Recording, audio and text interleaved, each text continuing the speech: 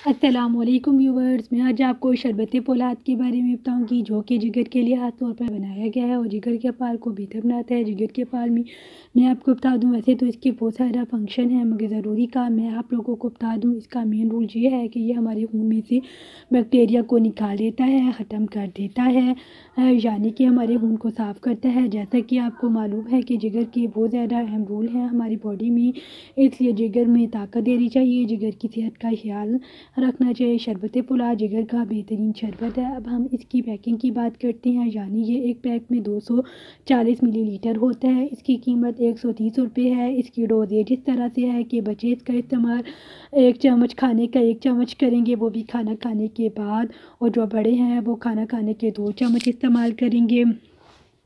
वो भी खाना खाने के बाद इसका इस्तेमाल आपने इस तरह से करना है कि एक गर्म, एक कम पानी लेना है और इसमें आपने शरबत को मिला देना है और इसको हल्का करके पी लेना है। ये आप पानी में भी कर सकते हैं और दूध में भी कर सकते हैं। अगर आपको दूध का जायका बुरा लगता है तो ये आप फ्रूट जूस में भी कर सकते हैं। अब मैं आपको इसकी कंपोजिशन के बारे में बताती हूँ। इसमें पैरासल्फेट और और पोनिका ग्रानाटोम और लेमस मौजूद है। इसमें विटामिन ए सी ई और फोलिक एसिड बहुत ज़्यादा मकदार में मौजूद होता है।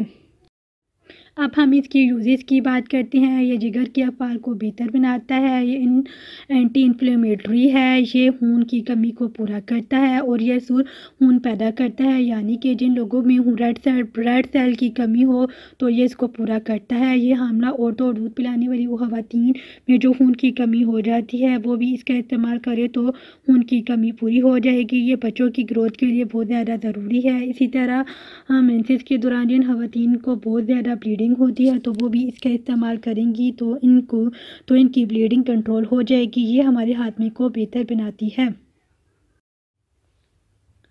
और दूसरा ये कि ये हमारे असाब को मज़बूत बनाता है और हमारे नर्व्स को ये ताकत देता है और असाबी बीमारियों से भी बचाता है। इससे आप की स्किन ग्लो हो जाएगी। इसके अलावा ये आप की कमज़ोरी को दूर करता है। जिन लोगों को थकावट होती है बार बार वो भी शरबत फुलाद का इस्तेमाल कर सकते हैं। जिन लोगों की जिसम में दर्द होता है, वो भी शरबत फुलाद का इस्तेमाल कर सकता है। उम्मीद करती हूँ कि आपको हमारी ये वीडियो बहुत अच्छी लगी होगी। अगर आपको हमारी ये वीडियो अच्छी लगी तो आप हमारे चैनल को लाइक करें, सब्सक्राइब करें, बेल आइकन को क्लिक करें और अपने दोस्तों के साथ शेयर करें। थैंक यू, अल्लाह हाफिज़।